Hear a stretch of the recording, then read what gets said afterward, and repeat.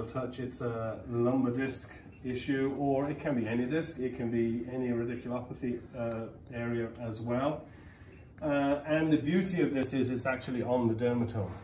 So you can use your universal setting, you can use your dermatome setting, it doesn't particularly matter uh, which one you use. So again, we've set it up over the area. This can also be an alternative for back pain because in this instance, we're also getting the psoas muscles as well. We've already done movements uh, when we did the dermatome, if you choose to do the dermatome as well. Alternatively with this, you can just sit your patient down, set your laser up if you're using your PL, go away and get on with something else.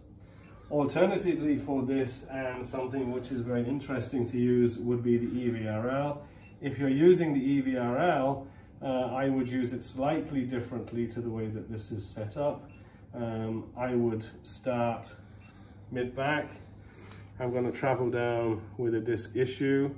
And then what I'm actually going to do is I'm going to map the psoas on either side because if that's constricting and tightening that space, that's part of your problem.